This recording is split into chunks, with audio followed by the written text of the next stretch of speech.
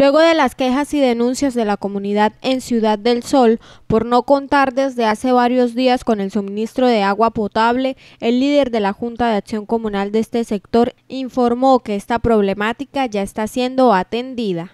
Personal de aguas elaborando para hacer la debida solución a la problemática que tenemos con el agua potable en nuestras torres. En altas horas de la noche, madrugada, eh, alcanzó a llegar presión, subieron los niveles de los tanques.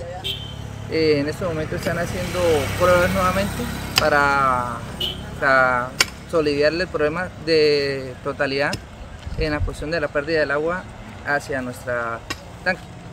Ahora sí a todos los vecinos esperar un, un día más, como se dice, para la solución completa a nuestra necesidad del agua potable. Esta comunidad tenía previsto realizar una protesta en busca de que se les atendiera el caso. Sin embargo, ante estos arreglos para el mejoramiento del suministro del agua potable, estarán a la espera de que no sean necesarias las vías de hecho.